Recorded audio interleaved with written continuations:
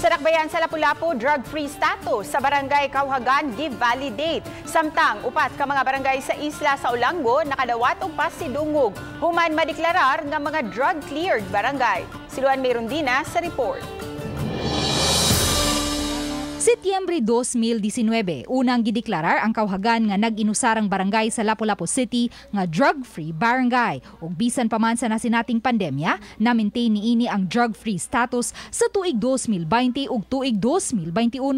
Ug isip pa si Dungog, nakadawat ang barangay og 50 mil pesos gikan sa lokal nga hagamhanan ug certificate gikan sa Regional Oversight Committee. Apaning bag-o lang, givalidate sa taga-close-up ang pangan sa usa ka drug personality nga gikatahong mulupyo sa barangay Kauhagan. karon tuga ang kadak ni request na og inventory sa mga names kani nga name para ato i-communicate ngadto sa ato ang police station 1 as well as gi-verify na pud sa ato ang PDEA the status of this personality.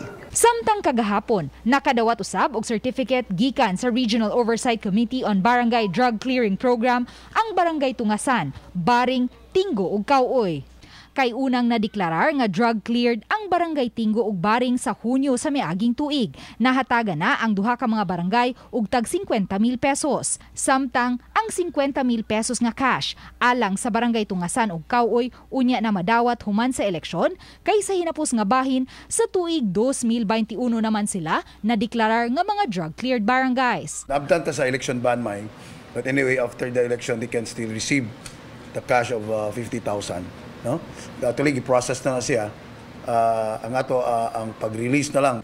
Sa pagkakaroon may pito pa kalaing mga barangay sa Lapu-Lapu City ang gipaubos sa validation sa Regional Oversight Committee aron madeklarar usab sila nga mga drug cleared barangays. Gilangkuban kini sa barangay Suba Basbas, Ibo, Punta Enganyo, Marigondon, Sabang, Panganan ug Agos. Sa pito ka mga barangay, ang barangay Panganan lang ang slightly affected sa illegal nga drogas, samtang ang unom moderately affected. Uban ni Marlon Melgazo, Luan Merondina, Balitang Bisda.